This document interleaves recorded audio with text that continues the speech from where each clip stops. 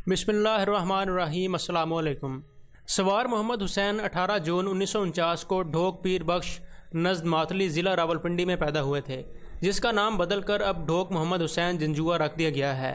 सवार मोहम्मद हुसैन को ये इम्तियाज़ हासिल है कि वो निशान हैदर पाने वाले पहले जवान हैं। उन्नीस की पाक भारत जंग में सवार मोहम्मद हुसैन शहीद निशान हैदर अभी देवी हाई स्कूल में जेर तालीम थे, लेकिन उनके दिल में वतन से भरपूर मोहब्बत का जज्बा मौजूद था। आपने प्राइमरी तक तालीम जंग पीरों में हासिल की। सवार मोहम्मद हुसैन तीन दिसंबर 1966 को पाकिस्तान के मुसल्ह अफवाज में शामिल हुए। ड्राइवर की तरबियत हासिल की और ड्राइवर के तौर पर खिदमत अंजाम देने लगे। आपकी शादी 1971 में हुई। आपकी औलाद में एक बेटी और एक बेटा शामिल है।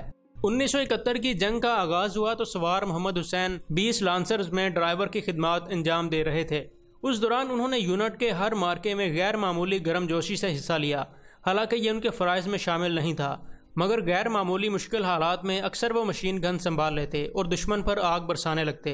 पाँच दिसंबर 1971 को जफरवाल और शक्करगढ़ के महाज पर दुश्मन के टैंकों की गोलाबारी के बावजूद एक एक मोर्चे में जाकर जवानों को गोला बारूद पहुंचाते रहे। लड़ाका गश्ती दस्तों के हमरा कठन और पुरखतर मुहम्मद पर भी जाते रहे। उसी दौरान उन्होंने दुश्मन को हर रखूरत के करीब बारूदी सुरंगों के करीब मोर्चे खोते देखा। तो अपनी यूनिट के सेकंड इन कमांड को फौरी इतला दी। फिर वो अपनी एक टैंक शिकन तोप के पास पहुँचे और उससे दुश्मन के टैंकों पर फायर करवाते रहे, जिसके नतीजे में दुश्मन के 16 टैंक तबाह हो गए। दिसंबर 1971 में वो जफरवाल और शक्करगढ़ के महाज जंग पर गोला बारूद की तरसील करते रहे। 10 दिसंबर 1971 को उन्होंने मोजा हरड़ खुर्द में दुश्मन की मौजूदगी का पता चलाया और इसकी इतला फ़ौरन अपने यूनिट के अफसरान को दी। फिर वो खुद यक्के बाद दीगरे अपनी एक टैंक शिकन तोप के पास पहुँचे और दुश्मन की सही निशानदही करते हुए तोपचियों से फायर करवाते रहे, जिसके नतीजे में दुश्मन के 16 टैंक तबाह हुए। 10 दिसंबर की सुपहर चार बजे, जब सवार मोहम्मद हुसैन अपने एक रिकायल लैस राइफल बरदार को दुश्मन के ठिकाने दिखा रहे थे कि एक टैंक से मशीन गन की गोलियों की बोछाड़ ने उनका सीना छलनी कर दिया और वो मैदान जंग में शहादत के अजीम मरतबे पर फायज हो गए। सवार मोहम्मद हुसैन की आला खिदमत के एतराफ़ के तौर पर हुकूमत पाकिस्तान ने उन्हें निशान हैदर का एजाज़ अदा किया। उन्हें ये एजाज़ भी हासिल हुआ कि वो ये एजाज़ हासिल करने वाले पाक फौज के पहले जवान थे। सवार मोहम्मद हुसैन की मैयत को पहले शक्करगढ़ में अमानतन दफन किया गया, फिर उसे ढोक मोहम्मद हुसैन जंजुआ में मुंतकिल कर दिया गया। सवार मोहम्मद हुसैन शहीद का निशान हैदर का एजाज़ तीन फरवरी उन्नीस सौ सतहत्तर को ऐवान सदर इस्लामाबाद में मुनदा एक खसूस तकरीब में उनकी बेवा ने हासिल किया।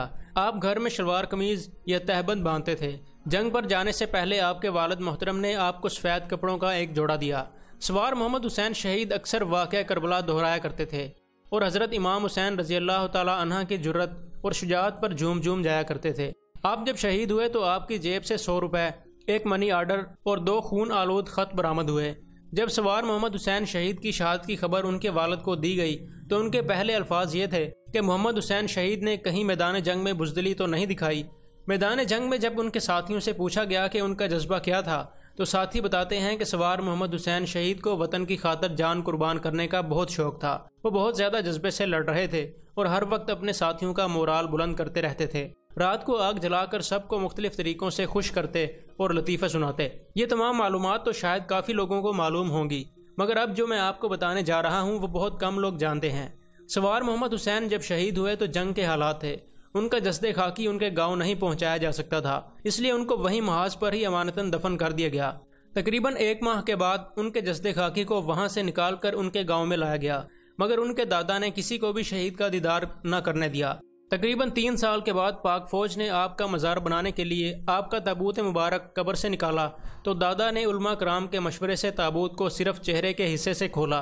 तो माशाल्लाह अब भी खून ताज़ा था और पूरा इलाका खुशबू से भर गया।